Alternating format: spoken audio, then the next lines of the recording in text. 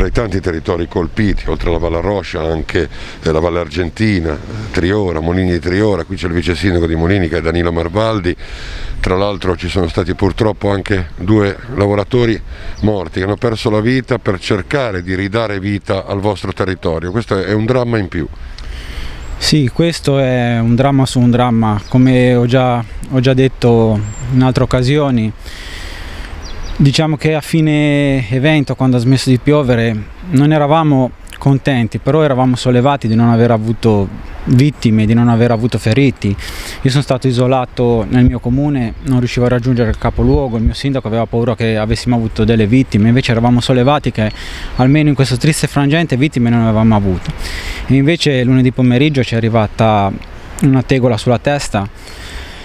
che sono morti due ragazzi giovani erano due ragazzi di Molini di Triora e più precisamente della mia frazione, di Agaggio Inferiore. Abitavano a 50 metri da casa mia, erano due amici, due persone splendide due ragazzi che non si fermavano davanti a niente quando c'era da lavorare e soprattutto quando c'era da lavorare per la comunità. E stavano cercando di liberare una strada appunto dai detriti e da, dal legname che questa, questa calamità ci ha, ci ha lasciato sul territorio.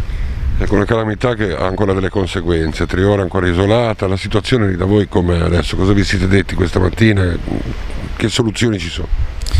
Eh, io dopo tanti giorni questa mattina ho staccato un attimo pronto per venire qua in Peria in provincia per fare il punto della situazione perché noi le criticità sono ancora nonostante ormai domani, si, domani sera sia una settimana che è venuto l'evento abbiamo ancora la frazione di Gavano isolata completamente che non riusciamo a arrivarci, la frazione di Corti isolata completamente da quella grossa frana che è sulla provinciale sull'SP 52 che cercando, stanno cercando la provincia di, di, poter dare almeno un passaggio per un mezzo inferiore ai 35 quintali mm, per poter almeno accedere alla frazione nostra di Corte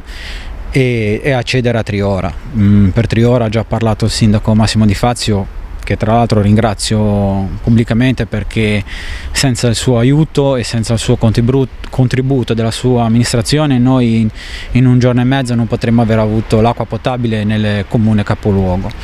e qua lasciami, mm, voglio anche ringraziare Regione Liguria mm, da mm, Giacomo Giampedrone a Stefano Vergante che appena hanno saputo della nostra situazione si sono subito messi in contatto con noi e non mi hanno mai lasciato solo, mi hanno messo a disposizione due tecnici che sono Stefano Reppetto e Andrea Mussotto che sono venuti con me sono stati vicino a me tutti questi giorni e, e di qualsiasi cosa, dall'acqua ai tubi per portare l'acqua, mm, ai bidoni della spazzatura, sono sempre stati vicino a me per fare i, i viaggi con l'elicottero e di questo devo, devo ringraziare appunto Regione Liguria perché senza il loro aiuto